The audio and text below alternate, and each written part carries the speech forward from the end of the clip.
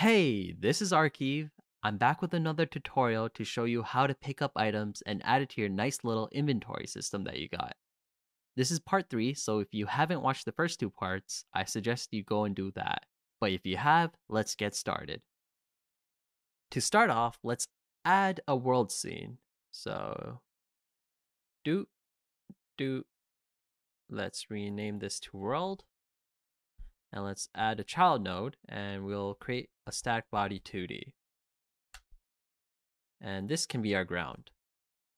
And now let's add another node, a texture rect, for the image of the ground. And I have a image already loaded up here. So I'll click and drag into it to the texture property. And let me zoom out. And now we have a ground, but we also have to add a collision shape to it. So the player knows where to stop instead of continuously falling down. Collision shape 2D. And click on collision shape 2D and then let's add a shape to it. A new rectangle shape 2D will work. Let's drag it and let's just cover the surface of the ground. Okay, that'll work fine. Let's save it as world scene. Now I'll just make a simple player scene. Click, click, kinematic body, player, and bam, this is the player scene, and it's pretty simple, just walking left and right. This is just so we have a player to pick up an item. So let's go back to the world scene, and let's add the player scene to it. Let's scroll out. And it's fairly simple. It doesn't even have gravity, so I'm just going to snap it onto the ground like that. And let's try playing the world scene. So now we have a player that can walk left and right. Now we have to add picking up items to our inventory. So let's close this. All right, so the first order of business is to be able to open up our inventory. So let's first go to project settings and let's assign a button. So go to input map and let's create an action called inventory. Click add, let's scroll down.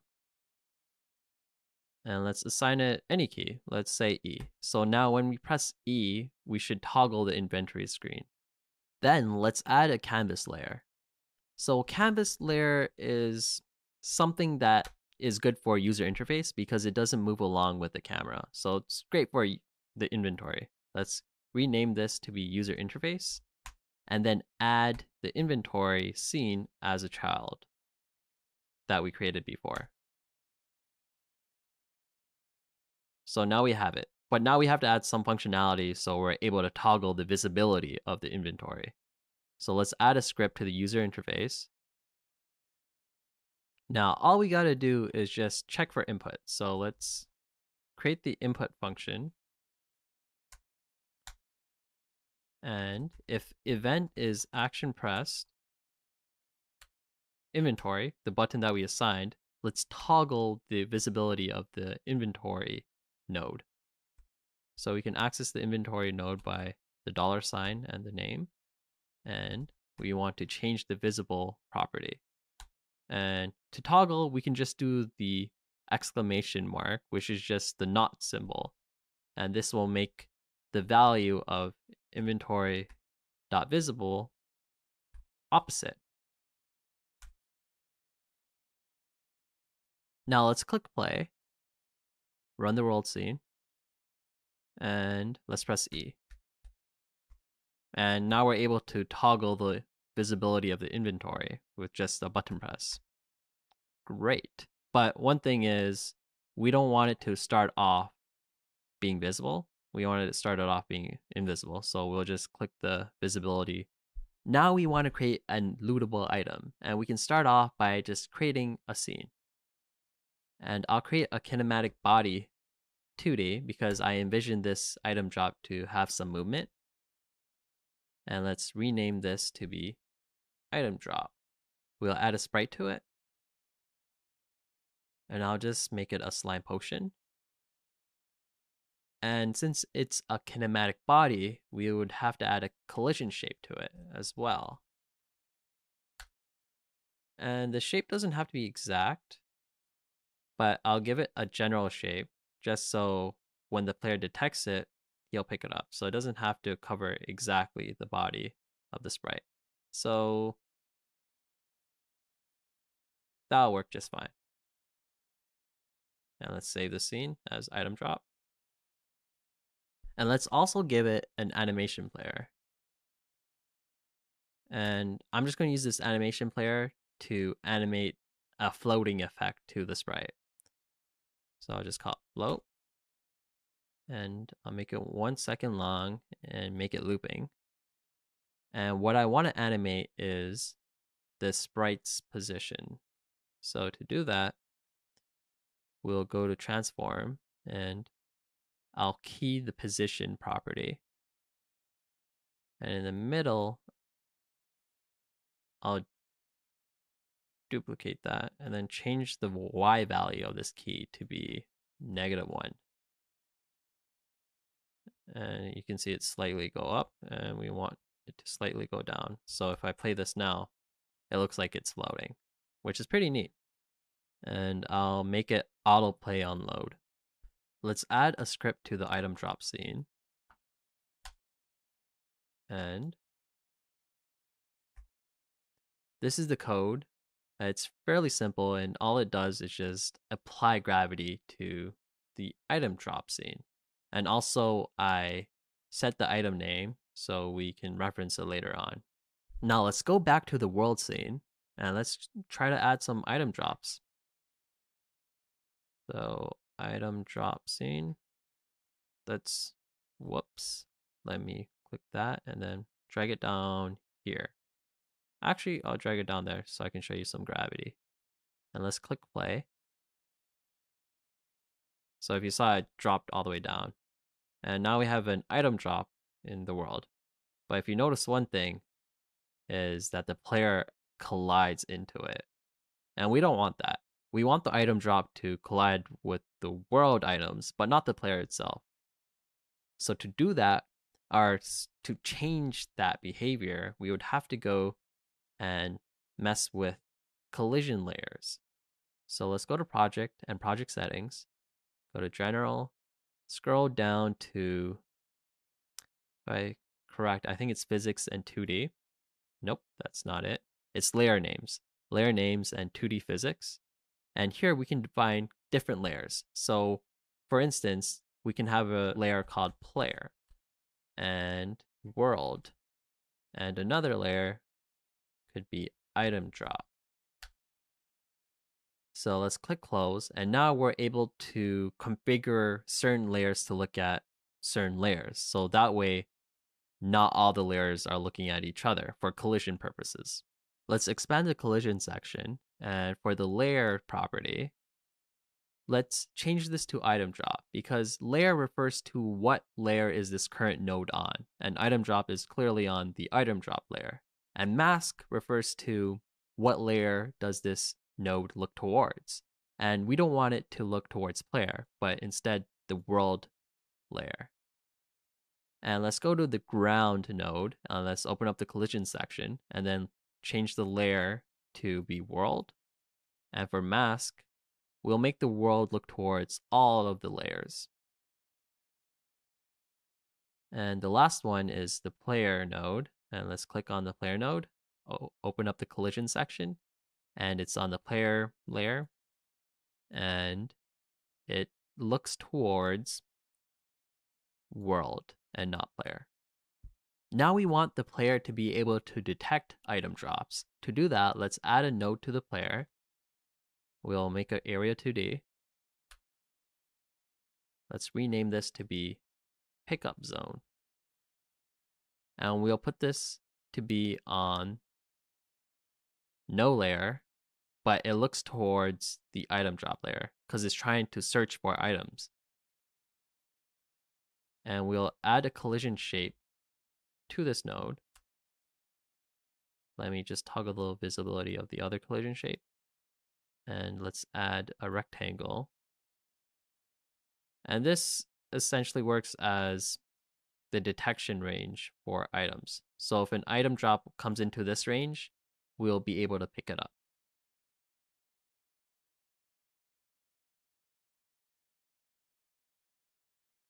Okay, that works for now. Let's add a script to the pickup zone. And then let's add some signals whenever a body enters the pickup zone. And since we set the layer it looks towards to only be item drops, then the body that's entered can only be item drops. So let's click on pickup zone and then node tab. And then we'll double click on body entered and we'll connect it to the pickup zone scene. And we'll do the same thing with body exited. And if you go to the script, you'll see that there's two new functions. And this these two functions are called whenever an item drop enters the range of the pickup zone scene. Let's keep track of all the items that enter the pickup zone. And we'll do that by creating a dictionary called items in range. And within the body entered signal, let's add to the items in range. And the key can be the body type itself. And whenever the body exits, we should erase it from the dictionary. So we first check to see if it has the body, and if it does, we'll erase it. Let's go to the player script and let's add an input function to pick up items. So in this input function, we check to see if an action pressed pickup occurs. So we didn't add that yet. So let's go to project and project settings and into input map and we'll create an action called pickup. And I'll just assign it to be Z. So when Z is pressed, we first see if the pickup zone has any items in range. And if it does, then we try to pick this item up by calling the pickup item function. And this function exists within the pickup item. So we have to go to the item drop script and add another function. The function will simply be this, but we have to add two new variables. One is the player, which keeps track of the player, obviously. And another one is being picked up, which is a flag to let the item scene, item drop scene know what state it's in. So we'll initialize it to be false. So if it's false, if being picked up is false, we just want to apply gravity to it. Else, we want to start picking it up. And to do that, we add this code. And what this code does is it first gets the direction to the player and applies the velocity for the item drop to go towards the player. And once the item drop is close enough to the player, we destroy it so it disappears. Let's go over to the world scene and let's try to play it.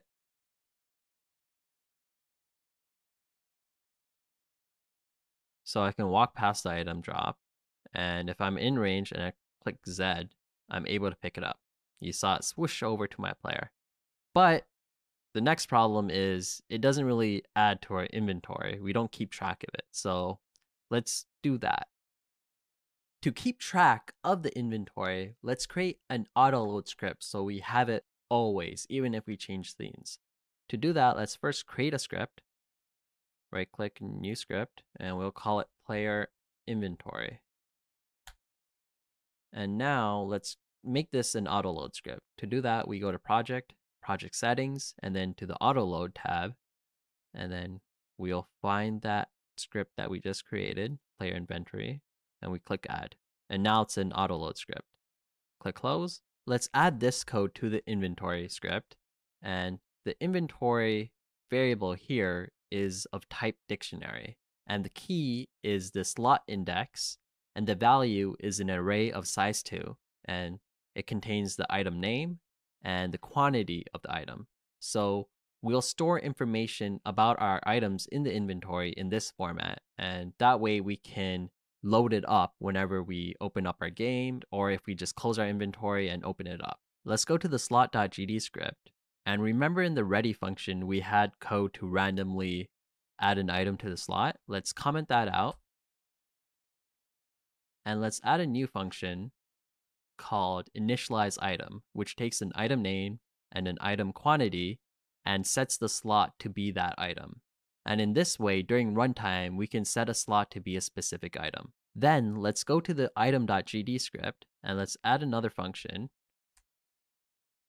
called set item, which takes in a name and a quantity and sets this item to be that item that we want it to be. So we update the texture and also make sure that the label is visible or invisible depending on the stack size. Let's go back to the player inventory script and let's add a function called add item. And all this does is it updates the inventory variable that we have in this script. And we call this add item function from the item drop.gd script. And we call it right when we pick up the item and before it's destroyed. So we go player inventory dot add item and we pass in the item name. And for now, we'll set the quantity to be one. Last but not least, we want to update visually the inventory slots and what's in the slots. And to do that, let's go to the user interface script. And every time we toggle the inventory button, let's update the inventory. So we go, we'll access the inventory node, and then we'll call a function that we have yet to create, initialize inventory. Cool. And then let's go to the inventory script and let's create that function. So initialize inventory, all it does is it iterates through all the slots and then it searches the inventory within the player inventory script and adds that item. And we can call it in the ready function as well, in case we do start up with any items. And that's all there is to it. And let's go to the world scene and then let's try this out. Let's walk past, let's press Z, press E, and voila, we picked up that one slime potion. And if we close it, we open it up again, it's still there. And the sword's there because we added that in in the code. So if I go back to the script, go to player inventory, we have iron sword right here. Right? We can also easily manipulate this by adding in another iron sword and say we want it to be in the next slot. And we'll give it one item quantity and let's go to the world scene and let's add more item drops. Press, press Control D to duplicate. And I'll put it just dispersed. And now let's click play. This button actually.